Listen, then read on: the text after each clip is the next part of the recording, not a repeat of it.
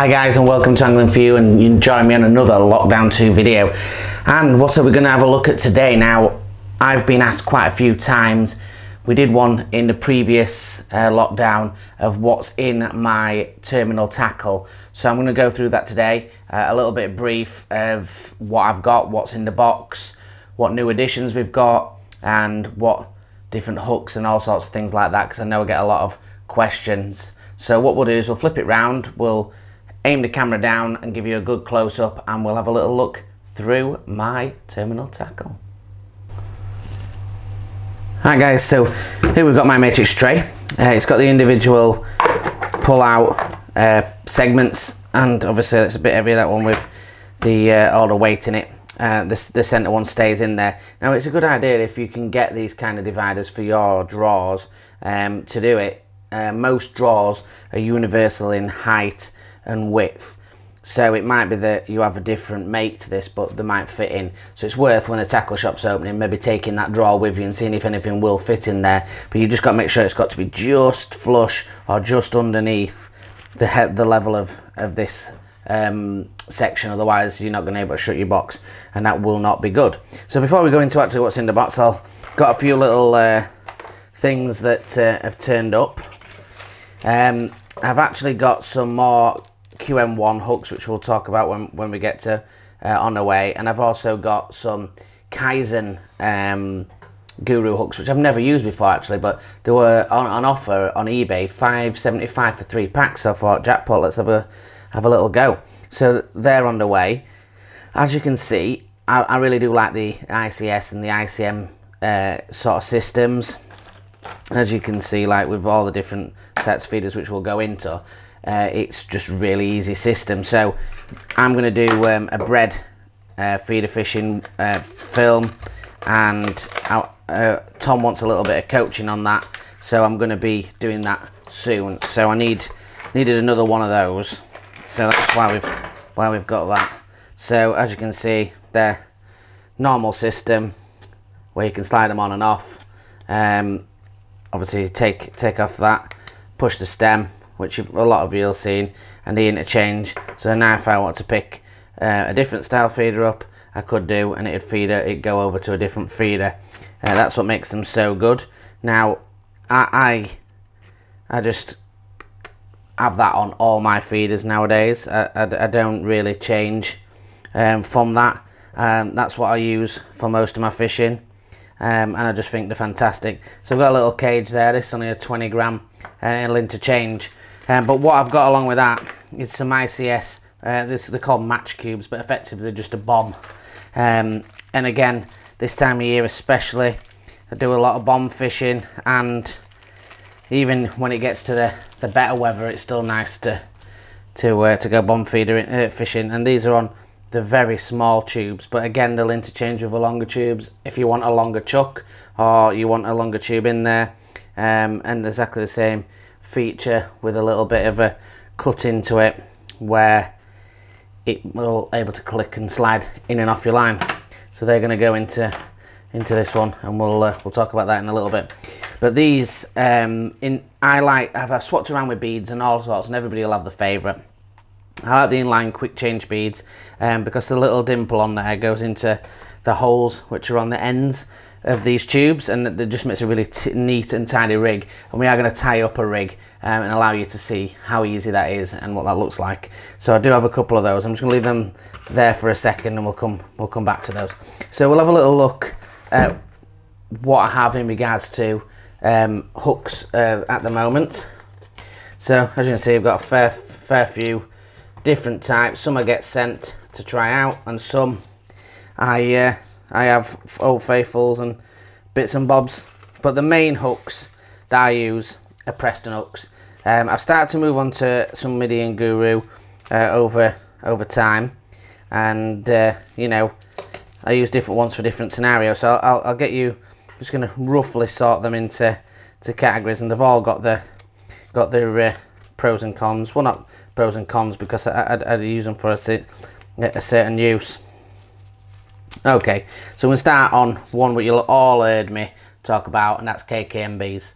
Now in here I've got 10s or 12, depending on what, I haven't got any 12s at the moment, but depending on what the, the venue says, you should always check the rules. Um, and they're not a massive 10, and I use those for paste fishing only, and the 18s, 20s, 16s, and 14s would all be potential feeder fishing when I'm tying a knotless knot rig. So that's when you've got a band or a quick stop, which we've got a few there, um, on to, to try and make a method rig effectively. So we'll just stick those in there.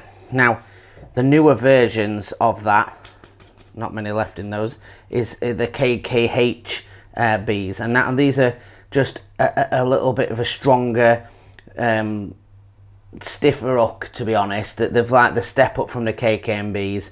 Um, they're the newer version of those and they're just a little bit stronger. But I've got a lot of faith in KKMBs and they stay super sharp. Um, but the KKHBs I've got to try out and I've got a 12 as you see because I use that for paste and a 16 again. That would be something I'd try on a method feeder. Now with the KKHBs and the KKMBs I tend to use those on a method feeder um, with pellets. Um, now or, or um, anything on a band really. Now if I'm using a corn I like a different style of hook. Now there's no, oh there's a couple left in this Q curves. So the Q curve middies and the MCMBs are very similar hooks. Now this is obviously a 14, this is a 16, and I, and, and I don't really use 14s too much if I'm honest, unless it's um, height of summer and a bigger carp that I'm aiming for rather than um, smaller fish. Now, I just like the curve on there. I think with a corn, um, I use them on a quick stop and, and I find that I get less chance of um, losing the fish and they're just a really nice hook. Still use them with pellet, but that that's what I mainly use them for. So a GPMB, now with those they're a straight shank rather than the curved shanks that you would use on the others, uh, for, which are mainly for hair rigging. This is if I'm doing a corn or a hookable bait. No, I won't, I don't, if I were using maggots maybe, I were doing a bunch of deads, um, I were hooking a punch, I was um, hooking a corn, but I'm still fishing for carp, not, not, not for silvers because um, it's a still a strong, uh, really strong hook. So that's got a straighter shank and it allows you to tie that direct with a blood knot or whatever um, kind of knot you want to try. Now you'll have all seen me use these carp hair riggers. I always use these for fishing shallow with um, single 4 mil pellets uh, for F1s in the uh, in the in the summer months.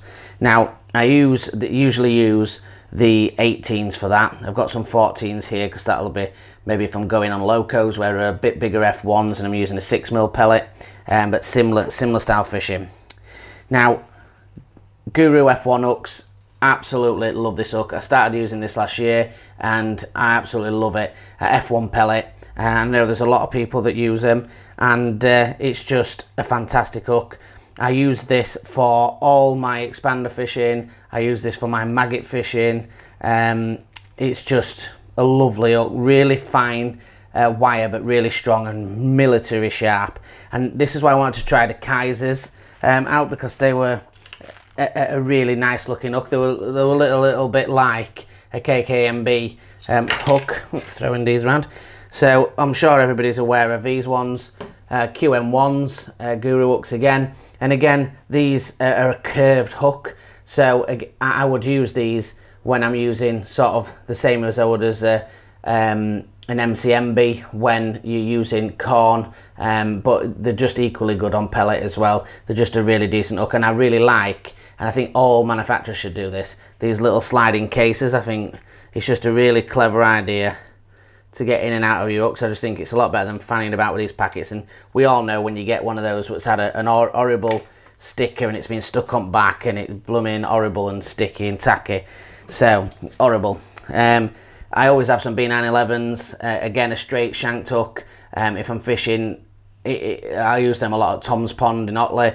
When I'm fishing sort of single maggot, um, these are size, size 18 single maggot and sometimes um, a very small expander as well, or punch. They're, they're a really decent hook for punch as well. So B911, a lot of uh, a lot of um, good confidence in that, and I think a lot of things are um, confidence. Now, this says um, Drennan Match uh, Carp size 18. It's not. It's just a. It's basically a, a, a container for different sized hooks. Sometimes I, I cut hooks off um, or rigs have got tangled and what I do is I take them off and I put them straight back into that and it's just a, a backup.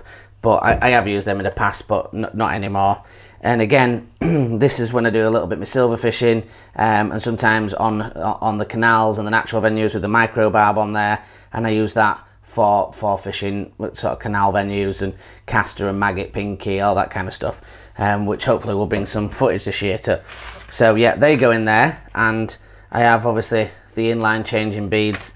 They all go in this one. So in this one, we have a few more hooks, but this is where we have sort of the bands and the bits and bobs. Now I've got a few hooks in here that I don't use as, as much. In, in, in the bottom is some Guru uh, extra tight um, float beads. I've got a few specimen hooks here, and, and when I say specimen, we're only sorting size 10. Sometimes, if in the very rare occasions we do floating bread and I might want to hook a bread on, I do that. I always have these, they look a bit battered because they normally go on the rivers or the canals with me, and these really are just for fishing uh, when I'm on a river, and it's nice and quick and easy enough for fishing a maggot feeder.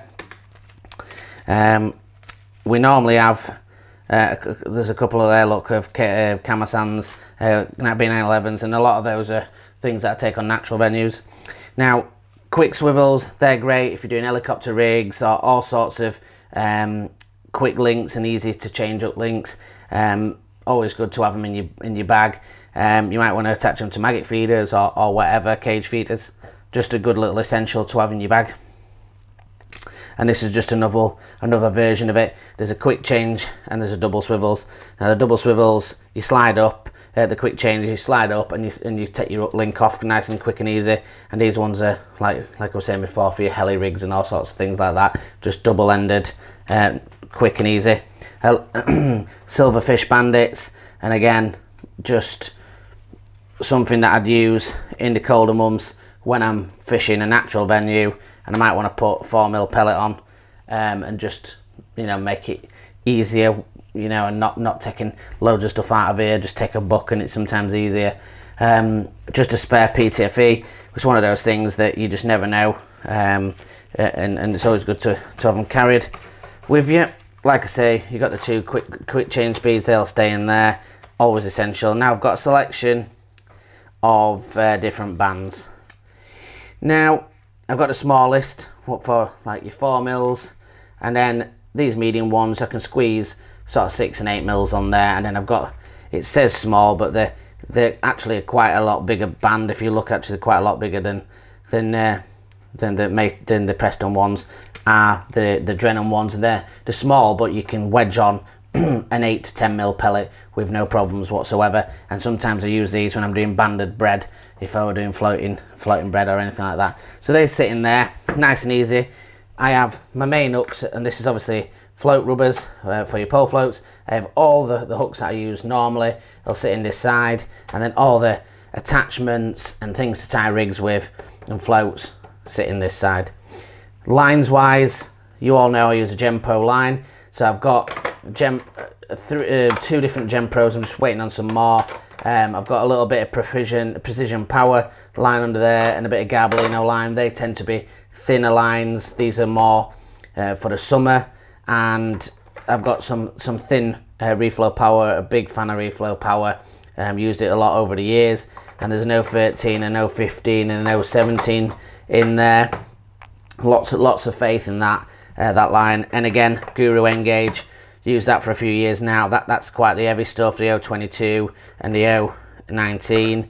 That's purely for animal pegs where you, you, need a straight through rig and you, you have to rag them uh, to get them out of uh, snags. Now super glue, always have super glue. You never know what you're gonna have to fix. If um, a bushing comes out or your, your pole pot's disintegrated, all sorts of stuff, you need super glue. I always carry super glue with me wherever I go. Um, Matt gave me this about uh, last year actually, and I need to get. I'll do that eh, on Benny's in summer, and that's a slow sinking bomb. Um, so we'll we'll leave that for now, and we'll talk about that later on uh, when we uh, when we start doing some fishing with it.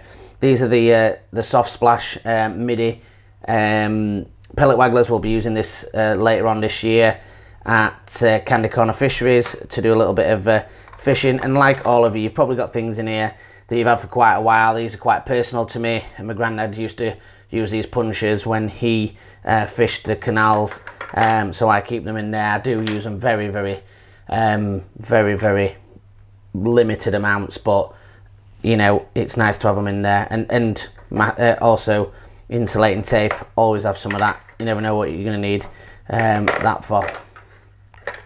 So that's that's the, that's the main part. And moving on to the end, I'm not going to bore you with going through absolutely every single thing that's in here, um, but we've got a selection of feeders, um, and we're on to pole pots at this end. So uh, I use a lot of the Preston pole pots. It's just something I've fished with. Everyone's got the the favourites. I've used them uh, uh, for a long time, um, and I just get used to it to be honest.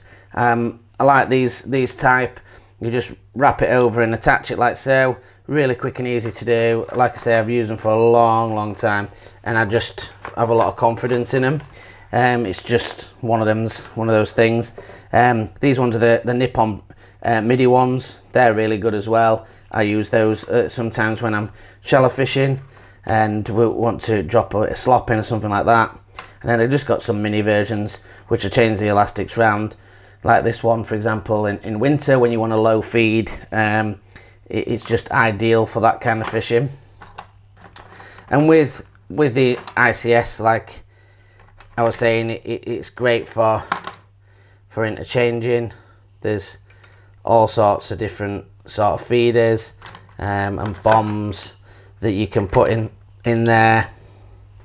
All of these work on that same system uh, and I, I have just a, a plethora of those um, along with the maggot feeders and uh, uh, some Middy shotgun feeders and I've also got some new ones from Middy that I've got behind me which I'll do on a, on a session as well. Uh, I, I have a, I love um, bombs. I have a select, lovely selection of bombs. Make sure I've always got some protectors in there for your elastics, but loads of different types of bombs. So I've obviously got the quick change ones from Prest, uh, from Preston. I've got some normal standard bombs. I tend to use them sometimes and clipping up at distance. Uh, I've got some nice little Guru bombs uh, that are like rock type. Um, got some other ones on a, on a, on a longer swivel. Um, We've got the cube ones, which are a smooth one in various different sizes. Got the little Olivet ones, you know, loads and loads. And I think it's it's good to have a selection of stuff. I, I, tend to not take ridiculous amounts, and I know I, if I were fishing matches often, I'd have loads and loads of different types in there. But I, touch wood, I don't usually lose lots of my feeders, so you know I, I tend to be all right.